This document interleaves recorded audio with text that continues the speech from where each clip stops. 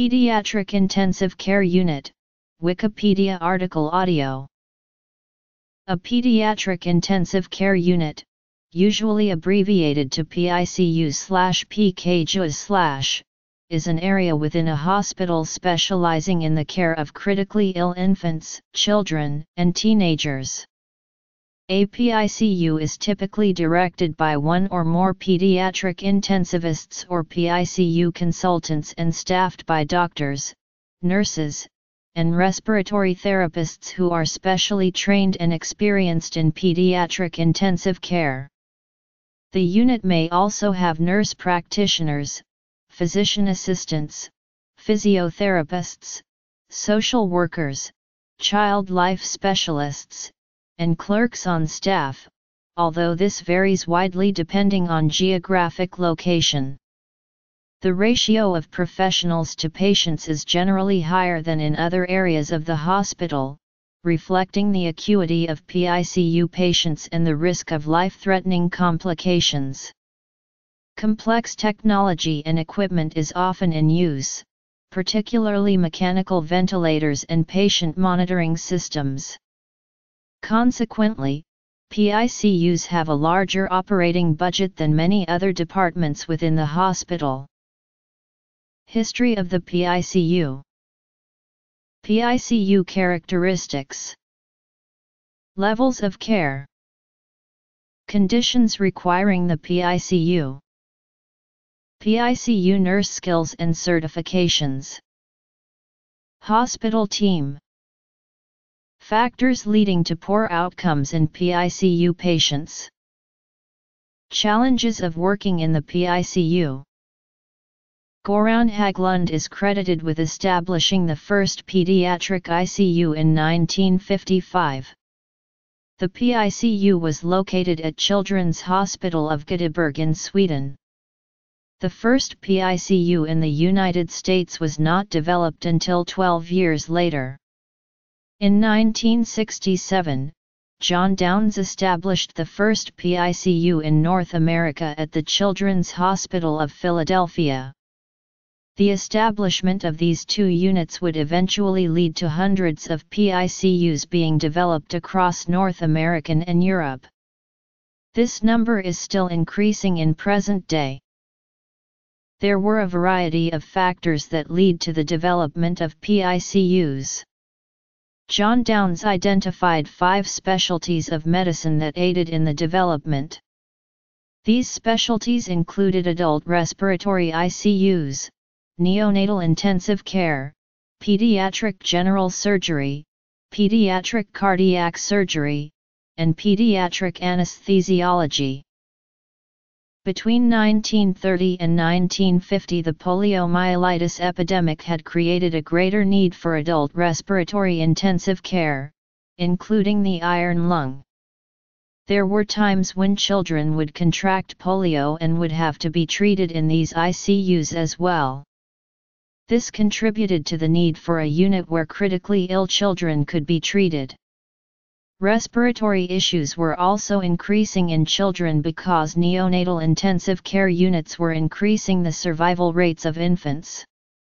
This was due to advances in mechanical ventilation. However, this resulted in children developing chronic lung diseases, but there was not a specific unit to treat these diseases. Advancements in pediatric general surgery, cardiac surgery, and anesthesiology were also a driving factor in the development of the PICU. The surgeries that were being performed were becoming more complicated and required more extensive postoperative monitoring. This monitoring could not be performed on the regular pediatric unit, which led to Children's Hospital of Philadelphia's development of the first PICU. Advancements in pediatric anesthesiology resulted in anesthesiologists treating pediatric patients outside of the operating room. This caused pediatricians to obtain skills in anesthesiology in order to make them more capable of treating critically ill pediatric patients. These pediatric anesthesiologists eventually went on to develop and subsequently run PICUs. There are a variety of PICU characteristics that allow the healthcare providers to deliver the most optimal care possible. The first of these characteristics is the physical environment of the PICU. The layout of the unit should allow the staff to constantly observe the patients they are caring for. The staff should also be able to rapidly respond to the patients if there is any change in the patient's clinical status. Correct staffing is the next vital component to a successful PICU. The nursing staff is highly experienced in providing care to the most critical patients. The nurse to patient ratio should remain low, meaning that the nurses should only be caring for one to two patients depending on the clinical status of the patients. If the patient's clinical status is critical, then they will require more monitoring and interventions than a patient that is stable. In most cases, the nurses and physicians are caring for the same patients for a long period of time. This allows the providers to build rapport with the patients, so that all of the patient's needs are fulfilled. The nurses and physicians must work together as a collaborative team to provide optimal care. The successful collaboration between nurses and physician has resulted in lower mortality rates not just in PICUs, but all intensive care units. As medicine has matured over time, the development of the pediatrics intensive care unit has expanded to maintain a level 1 and a level 2 PICU. Among these two different levels, they are able to provide critical care and stabilization for each child before transferring to a different acuity. In the level 1 PICU, healthcare team members must be capable of providing a wide variety of care that typically involves intensive, rapidly changing, and progressive approach. In the Level 2 PICU, patients will present with less complex acuity and will be more stable. Respiratory issues including acute respiratory distress syndrome, asthma, apnea, sepsis, trauma, congenital heart defects, mechanical ventilation, and complications of diabetes ketoacidosis. Gastrointestinal conditions include gastrointestinal perforations, cancer slash chemotherapy, organ transplants, seizures, and poisoning. As a PICU nurse, extended knowledge and certifications may be required. Recognition and interpretation are two of the many required skills for a PICU nurse. This allows nurses to be able to detect any changes in the patient's condition and to respond accordingly. Other skills may include route of administration, resuscitation, respiratory and cardiac interventions, preparation and maintenance of patient monitors, and psychosocial skills to ensure comfort of patient and family. There are a variety of certificates that are required for registered nurses to acquire in order to work in the PICU. One of these certifications is the Critical Care Registered Nurse Certificate. This certificate allows nurses to care for critically ill pediatric patients in any setting, not just the PICU. Other certificates include cardiopulmonary resuscitation, Pediatric Basic Life Support, and Pediatric Advanced Life Support. In the PICU, it is important that all team members hold a wide variability of training and experience in order to provide high quality care. Due to different priorities among interprofessionals, the PICU care team includes many different roles.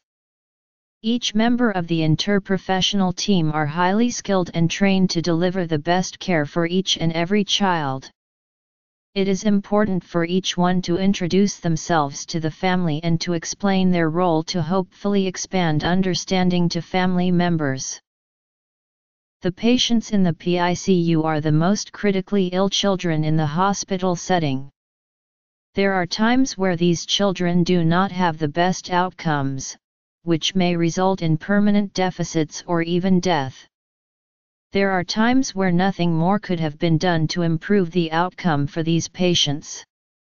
However, there are times where care could have differed and the end result may have been better. There are a variety of factors that have led to poor outcomes in PICU patients. The main factor that leads to inadequate care for PICU patients is improper health assessment by the healthcare providers. This may include not observing a change in the patient's clinical status, delayed resuscitation efforts, delayed decision making, or a combination of any of these factors. If any of these factors do occur, it may result in permanent deficits in the most critical patients. Measures may be taken to prevent improper assessments from occurring. Proper education on how to conduct a proper assessment and how to recognize a critically ill pediatric patient can improve patient outcomes. This includes being able to recognize signs of deteriorating clinical status and perform proper triage of patients. This education is not only for the PICU staff, but also for emergency medical services, the emergency department staff, and staff of the pediatric unit. Death of patients admitted to the PICU is inevitable, which subsequently may result in emotional stress and slash or occupational burnout of the staff. For patients that do get discharged from the unit, oftentimes they are not free of chronic conditions or disabilities. There are other factors that lead to stressful work conditions for the staff of the PICU. The staff often work for long periods of time in order to stabilize the most critically ill pediatric patients. They must collaborate with other members of the healthcare team in order to develop the best plan of care. Once a plan of care is developed, then the staff must communicate the plan with the patient's family in order to see if it matches their beliefs.